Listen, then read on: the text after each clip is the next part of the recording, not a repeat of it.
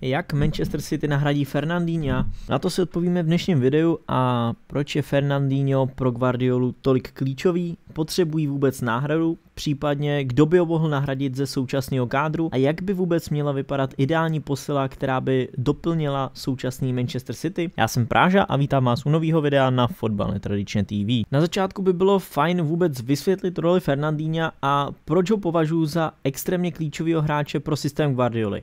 Jak asi dobře víte, tak Fernandinho nastupuje v defenzivní záloze, ale není to klasický defenzivní záložník, bořič hry, jak můžeme znát hráči, kteří hrajou na tenhle postu. Zároveň to ale není ani regista ve stylu Georgina nebo Pianiče, tedy hráči, kteří sice nastupují na pozici defenzivního záložníka, ale jejich primární úlohou je tvořit hru a kreativně zakládat akce.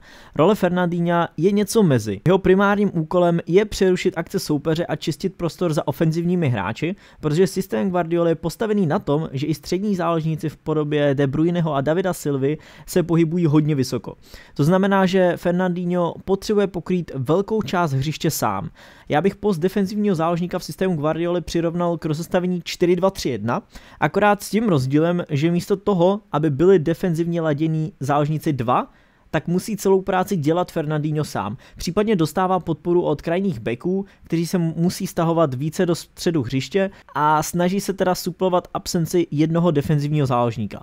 V neposlední řadě, pokud se bavíme o Guardiolovi, je samozřejmost, že hráč musí umět s míčem na noze a být konstruktivní. Tohle všechno říkám, protože to několikrát mohlo vypadat, když jsem mluvil o Fernandinhovi, jako by to byl nejlepší fotbalista na světě, který umí úplně všechno, což samozřejmě tak není, ale ale je to neuvěřitelně komplexní hráč a to, že umí tolik věcí najednou, z něj dělá naprosto, ale naprosto unikátního fotbalistu, což je pro Guardiolu momentálně velká výhoda, ale na druhou stranu bude velký problém ho nahradit, protože takhle komplexního hráče jen velice, velice těžko seženete.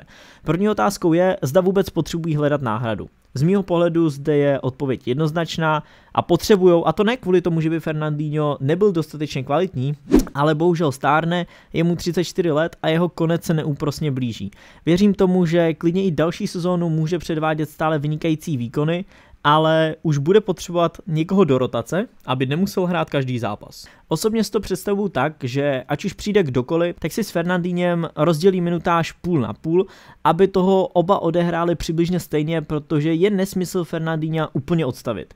Přece jenom tuhle sezonu byl stále vynikající a je velice nepravděpodobný, že by příští rok se něco extra mělo měnit, pouze jeho tělo bude zase o rok starší, takže bude potřebovat více času na regeneraci. Zároveň i pro nově příchozího hráče to bude jednodušší, že nebude okamžitě hozený do vody, aby se naučil plavat, ale naopak díky Fernandinhovi mu bude dopřán čas, aby se seznámil s herním stylem Guardioli a celkově si zvykl na Anglii bez ohledu na to, koho nakonec přivedou. Vidím v tom pouze a jenom pozitiva.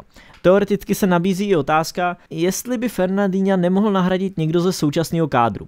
V záloze se testoval Stones, Danilo, Delf, respektive Delf tam hrál i v minulosti, ale testoval se na pozici defenzivního záložníka, anebo Gindogan, ale jediný, koho si zde dokážu představit aspoň částečně, je Gindogan. V závěru sezóny už na téhle pozici vypadal lépe než v jím úvodu, protože v úvodu byl pozičně úplně mimo, hodně ztracený, ale postupně to začalo vypadat, že se ho Guardiola snaží přenaučit na novou pozici. Postupně prostě vypadal zde pořád líp a líp a postupnou prací to nebylo v závěru sezóny už tak úplně šílený, ale přesto bych do takového risku nešel a spíše bych preferoval nákup nového defenzivního záložníka. Své favority už mám a představím vám je ještě v dnešním videu, ale chtěl jsem jenom zmínit Ilkaje, protože z mýho pohledu udělal v závěru sezóny velice zajímavý progres a určitě si zaslouží pochvalu.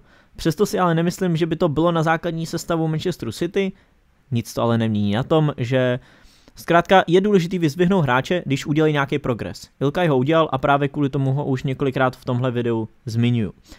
Teď nastává otázka, kdo by ale byl tou ideální posilou. Během letošní sezóny už jsem nahodil několik men, protože prakticky celý rok jsem to řešil v rozebránu, že kdo by mohl Fernandína nahradit, ale přece jenom je to složitá úloha a tentokrát se pokusím vybrat tři z mého pohledu nejlepší varianty. Začneme tím, o kom se nejvíce spekuluje, což je Rodri z Atletika Madrid. Už když ho atleti podepisovali, tak jsem tenhle přestup hodně chválil, z mýho pohledu se jedná o skvělého defenzivního záložníka, což v atletiku pouze potvrdil. Zároveň je ale velice silný na míči, což je pro Guardiolu velice, velice důležitý. Nicméně u tohle bodu bych se zastavil. Jedna věc je být silný na míči, což splňuje například také Ruben Neves, o kterém se taky dlouho mluvilo, ale druhý podstatný bod je ten, že daný hráč musí vynikat taky při bránění, což třeba Neves z Wolves určitě nevyniká a proto si myslím, že on by nebyl dobrou volbou. Ze stejného důvodu pochybuju také o Gindoganovi, i když, jak jsem říkal, on se zlepšil, ale pořád to není stoprocentně ono. A zkrátka to defenzivní myšlení musíte mít i v hlavě. Tady je ale rozdíl mezi ať už Nevesem, Gindoganem a nebo Rodrym, který je sice taky silný na míči, ale není to jeho priorita a vyniká při bránění, ať už se bavíme o pozičních hře nebo osobních soubojích. Celkově je zkrátka fyzicky mnohem lépe stavěný, což je taky i jeho výhoda. Rodry má zkrátka spoustu vlastností, ve kterých vyniká Fernandinho, ale jedna věc mu schází.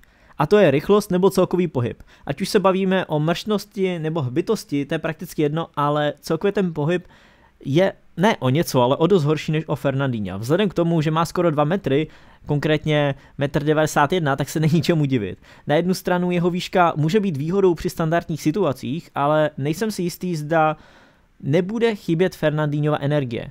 Každopádně to je ale jediná vlastnost, která mi u Rodryho chybí, jinak vypadá jako dokonalá náhrada a je jen otázka, jak to zkrátka dokáže zvládnout pohybově, když bude muset pokrýt takhle velkou část hřiště. Jo. Každopádně myslím si, že ať se bavíme o práci s míčem, dejme tomu nějaký konstruktivní rozehrávce, bránění, osobních soubojích, tak všechno tohle Rodry splňuje. Jediný otazník je u té energie. Tam si nejsem úplně 100% jistý, ale na to nedostaneme odpověď, pokud ho Guardiola neskusí. Druhou variantou je Declan Rice, typově velice podobný Rodrimu, až bych řekl, že skoro stejný, sice o 6 cm menší, ale taky má prakticky všechno, kromě toho pohybu. Nemyslím si, že by byl nějakým způsobem horší než Rodry, co se týče ostatních schopností, myslím si, že jsou velice, velice podobný a ani jednoho bych neřadil výš ani níž. Pouze Rodry je Španěl, ke kterým má Guardiola blíže, předpokládá, že bude mít lépe zažité návyky v práci s míčem, na kterou se přece jenom klade ve Španělsku větší důraz než v Anglii. Jinak si ale myslím, že by Declan Rice byl taky skvělou volbou a určitě by to nebyl v žádném případě krok vedle. Naopak si myslím, že Declan by klidně mohl být tím řešením na pozici defenzivního záložníka. Navíc je to angličan, což v Anglii je docela fajn mít angličany v týmu. Ale jak říkám, Guardiola není angličan, je to španěl, dost pravděpodobně bude preferovat spíše Rodryho. Nicméně, přestože obě tyhle varianty vidím jako správný a určitě bych jejich nákup schválil, tak můj ideální favorit je někdo úplně jiný. Konkrétně Mateo Kovačič z Real Madrid, který letošní sezónu hostoval v Chelsea. Hráč, kterýho už jsem zmínil v několika videích, ale budu se znova a zase opakovat, protože z mýho pohledu je to velice špatně využívaný hráč a vůbec nepatří na ofenzivní pozice, kam ho všichni cpou. V mých očích je to čistě defenzivní záložník, protože když se podíváte,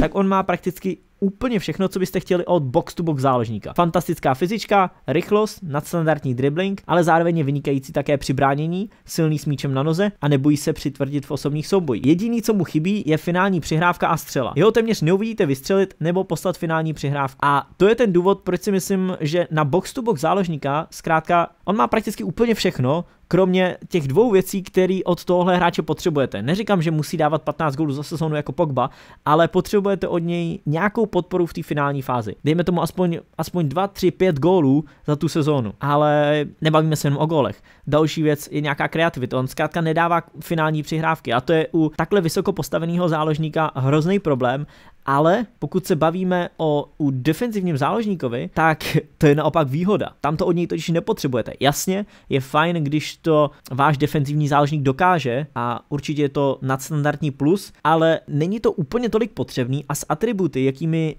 disponuje Kovačič, podle mě nenajdete lepší náhradu za Fernandinho. Typově si jsou až neuvěřitelně podobný a disponují stejnými kvalitami. Nicméně si nemyslím, že by nakonec Kovačiče opravdu přivedli. Z mýho pohledu je ale nepochopitelně přehlížený a ubíjený tím, že ho trenéři vidí na jiném postu, než na který má největší předpoklady. A právě u Guardioli bych čekal, že on něco podobného uvidí. Druhá věc může být nějaký složitý získání Kovačiče. Nevím, já osobně si myslím, že zase není tak složitý ho získat získat, ale zase jo, Guardiola, Real Madrid nemají úplně ideální vztahy, takže dost možná z tohohle pohledu by to pro něj bylo složitý ho získat a nechce jít tady do nějakých natahovaček s Perezem, čemu bych rozuměl, ale myslím si, že typologicky, pokud se bavíme o jednom hráčovi, Kovačič je za mě ta ideální varianta. Navíc by byl nejlepší, nejlevnější ze, ze všech tří, což je z mýho pohledu směšný, ale tak je prostě nastavený současný trh a Kovačič není, není doceněný. Každopádně tohle byl můj názor, já osobně bych teda přivedl Kovačiče, i když si myslím, že přijde nakonec Rodry. Z třetího pohledu ani domácí Declan Rice jako angličan by nebyl vůbec špatný. Ale teď mi dejte do komentářů vidět vy, koho byste přivedli jako náhradu za Fernandína. Napište to do komentářů a zkuste tam i rozepsat nějaký rozumný důvod, ať tam zase nemáme diskuzi nějakou úplně jakože bullshit, ale dá se tam o něčem bavit a rozumně rozvíjet témata, kdo by ho mohl nahradit, jak a proč a případně proč byste preferovali tohle hráče před třeba Kovačičem, kterýho jsem preferoval já, nebo před Rodrym, který ho preferuje Guardiola. Mezitím můžete ještě mrknout na náš účet Gaming Zone, kde streamujeme manažera a teďka už se tam chystáme natáčet první videa o FIFA. A pro dnešek už je to všechno, tak se mějte přesně tak, jak chcete a zatím ahoj ahoj.